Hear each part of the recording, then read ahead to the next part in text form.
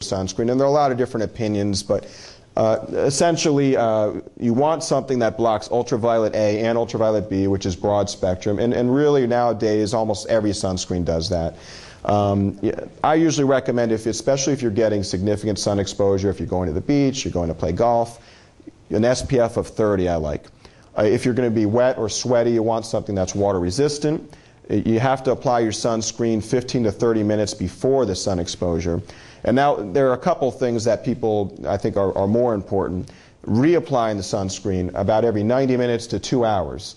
Um, a lot of people don't do that, and it's, especially if you're wet or sweaty, it's going to wear out and it's, it's going to lose its SPF. Even if you're using that SPF of 200, after an hour and a half, two hours of, of wet or sweaty conditions, it's not going to maintain that SPF.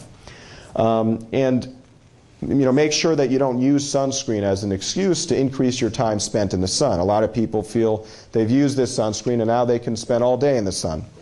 And that's not true.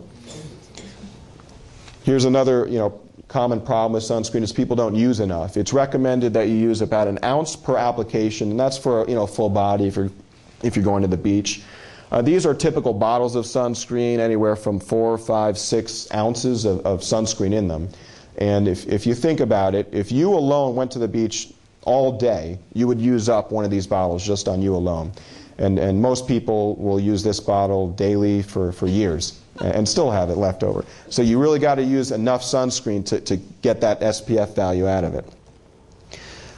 A couple, a uh, little more technical information. Now here, there are two main ingredients in sunscreens.